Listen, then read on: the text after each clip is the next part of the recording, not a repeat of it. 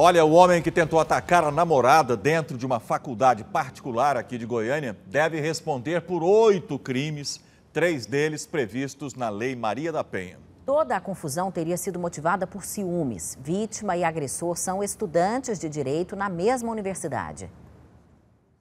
Esse é o momento que o homem é detido e levado para a central de flagrantes. Estava usando arma? De modo algum. Você tentou bater nela? De modo algum. Não? Não. Como é que é seu nome?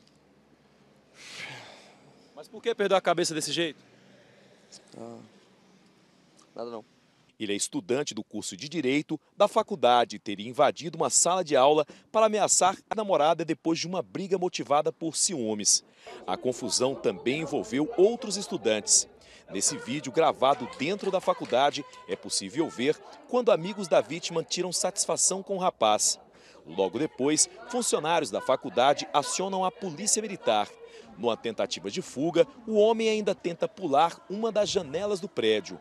A equipe da Polícia Militar, através de muito diálogo e aproveitando de um momento de distração, conseguiu segurar esse indivíduo que debateu muito, é, inclusive machucando alguns policiais, mas conseguiram retirá-lo né, da janela e Agora estamos fazendo os encaminhamentos para a Central Geral de Flagrantes, tendo em vista as ameaças e as agressões à namorada e a vários funcionários da universidade e da Polícia Militar. Por enquanto, a universidade decidiu não se pronunciar sobre o que aconteceu, mas segundo informações, o suspeito também estuda aqui e é do curso de Direito. Por isso, ele teve acesso tão facilmente a dentro da instituição. Os alunos contaram que o homem chegou descontrolado e só não conseguiu fazer uma besteira porque os funcionários primeiro conseguiram controlar o homem.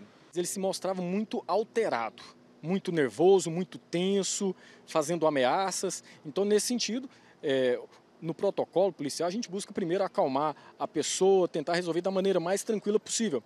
E graças a Deus e com o empenho dos nossos policiais, conseguimos resolver da melhor maneira.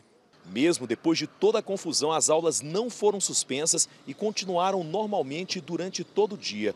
Em nota, a PUC Goiânia informou que todas as providências cabíveis foram tomadas.